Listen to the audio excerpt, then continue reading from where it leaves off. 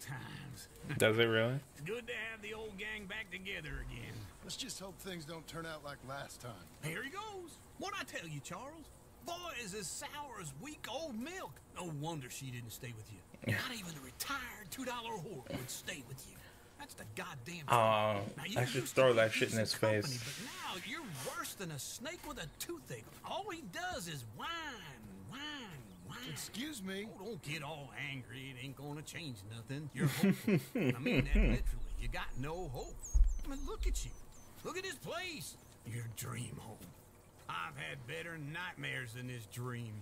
Oh, darling Abigail, I've changed. Come live with me in an outhouse. I wouldn't ask my worst enemy to take a shit in. What are you trying to say? It's awful. Yeah, we need to get better. House has gotta go.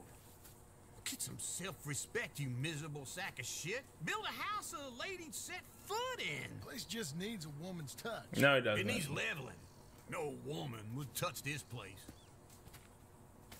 Now, I reckon these horses can have it down in a minute. Here, come on. Tie that end around. Oh, we're gonna destroy the Move house? that end around there. Horses will pull it clean down. we good? I think so. All right.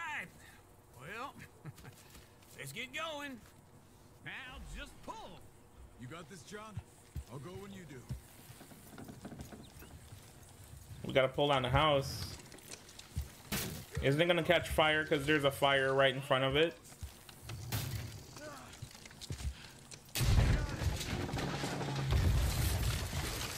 Damn. See? I told you it wouldn't be no trouble. And now? Now we head into town, buy ourselves a house right out of a book. Same as if it were a bicycle.